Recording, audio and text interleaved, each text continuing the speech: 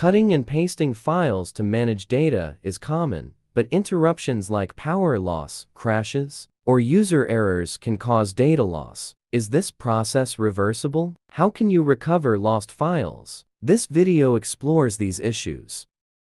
Part 1 Why Android phone files lost after cut and paste. Shutdowns or SD card removal or hardware issues or crashes or insufficient storage. Corrupt file systems or file manager bugs or improper ejection. Part 2. Is there any way to recover files that disappeared during cut paste? Verify folders. Use recovery software for example, MobiKin, connect to a computer for history, check cloud backups, consider professional recovery services. Part 3. Cover files lost during cut and paste on Android via MobiKin, whether moving phone contents internally or to external storage USB, hard drive. Lost files can be recovered using MobiKin Doctor for Android.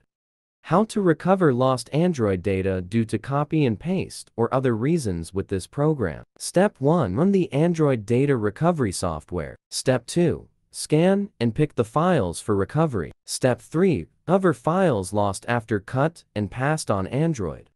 Part 4. Cover files after cut and paste using Google Keyboard. Most Android phones now come with Google Keyboard as the default keyboard. Restoring your clipboard history with this tool is easy. Part 5. Recover Android files lost in cut and paste safely on Windows. Missing files during cut and paste from Android to Windows? Windows is equipped with pre-installed tools that can assist you in recovering files. Part 6. Recover cut files from phone memory on Android from a backup. Utilizing a cloud storage service such as Google Drive, Google Photos, OneDrive, or Dropbox can assist in the recovery of lost files due to cut and paste errors on an Android device.